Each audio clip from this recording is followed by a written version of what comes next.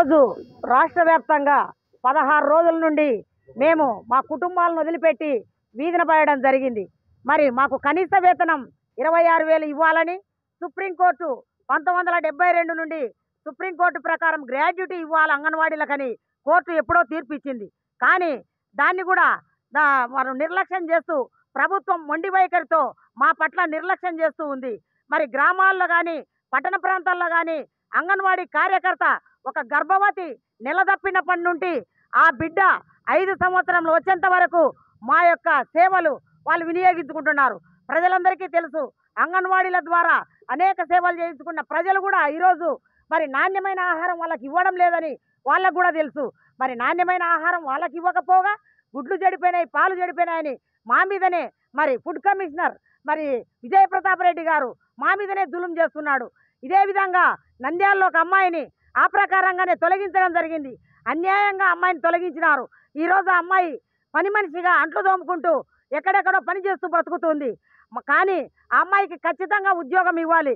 ఎందుకంటే అంగన్వాడీల పట్ల ఇంత భయంకరమైన వాతావరణము నెలకొ నెలకొల్పుతూ అందరినీ భయభ్రాంతులకు గురి చేస్తూ ఉన్నారు. ఏదైనా అడిగితే మమ్మల్ని తొక్కేయాలని చూస్తున్నారు. మరి రాజకీయంగా మా పైన ప్రయోగాలు చేస్తున్నారు. కాబట్టి మరి ముఖ్యమంత్రి గారిని ఒకటే కోరుతున్నాం. మీ మొండి వైఖరి విడనాడి. మాకు రావాల్సిన సుప్రీంకోర్టు ప్రకారం గ్రాడ్యుటీ ఇవ్వాలి. కనీస వేతనం ఇరవై ఆరు వేల ఇవ్వు ఇవ్వాలి. అదేవిధంగా ఇన్ని సేవలు చేస్తూ రిటైర్మెంట్ అయిన వాళ్ళకు ఆయాలు టీచర్లు వీధిన పడుతూ ఉన్నారు. కనీసము ఐదు లక్షలు గ్రాడ్యుటీ ఐదు లక్షలు రిటైర్మెంట్ బెనిఫిట్స్ ఇవ్వాలని మేము డిమాండ్ చేస్తున్నాం. అవన్నీ ఏం చెప్పకుండా మాకు అరవై రెండు సంవత్సరాలు వయసు పెంచుతాము. మరి ఆయాలకు ప్రమోషన్ కొరకు నలభై ఐదు నుండి యాభై సంవత్సరాలు పెంచుతాం. ఇవన్నీ ఎవరికి కావాలి? మాకు ఆర్థికంగా చాలా నష్టపోతున్నాం. ఇచ్చే పదకొండు వేల ఐదు వందలతోనే ఈ నిత్యావసర ధరలు పెరిగినాయి. కూరగాయల ధరలు మిన్నంటినాయి. మరి ఇవన్నీ మేము పిల్లల స్కూల్ ఫీజులు కూడా కట్టుకోలేని పరిస్థితి. కానీ పదకొండు వేల ఐదు వందలలోనే కరెంటు బిల్లు దాంట్లోనే కట్టాలి కూరగాయల బిల్లులు దాంట్లోనే కట్టాలి తర్వాత గ్యాస్ బిల్లులు దాంట్లోనే కట్టాలి. ఈ రకంగా మాకు ఇచ్చే ఈ పదకొండు వేల ఐదు వందలు టీచర్కు ఆయాకు ఏడు వేలు ఇస్తున్నారు మినీ అంగన్వాడీ టీచర్లకు ఏడు వేలు ఇస్తున్నారు కానీ ఇవి ఏమాత్రం సరిపోతాయనేది మరి మంత్రులు కానీ ఎమ్మెల్యేలు కానీ ఎంపీలు కానీ గుర్తుపెట్టుకోవాల్సిన అవసరం. మీరు బటన్ నొక్కుతున్నారు ఎవరికి నొక్కుతున్నారు?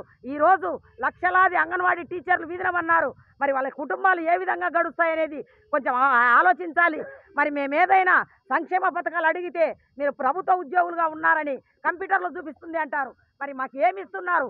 మీకు మీరు ఇచ్చే చాలీ చాలని వేతనం గౌరవ వేతనం అనే పేరుతో మమ్మల్ని నిర్లక్ష్యం చేస్తున్న ప్రభుత్వాన్ని ఈసారి మేము లక్ష ఐదు వేల మంది ఉన్నాం కానీ మా కుటుంబాలతో కలిస్తే ఎన్ని లక్షలు అవుతుందో మీరు గుర్తుపెట్టుకోండి.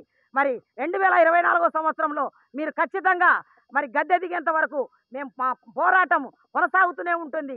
మా యొక్క సమస్యలు పరిష్కారం చేస్తే చేసినట్టు. లేకపోతే మా సమ్మెను ఇంతటితో ముగిచ్చేది లేదు. ఎంతవరకైనా మా పోరాటాన్ని ముందుకు తీసుకొని పో వెళ్ళడానికి మేము సిద్ధంగా ఉన్నాం.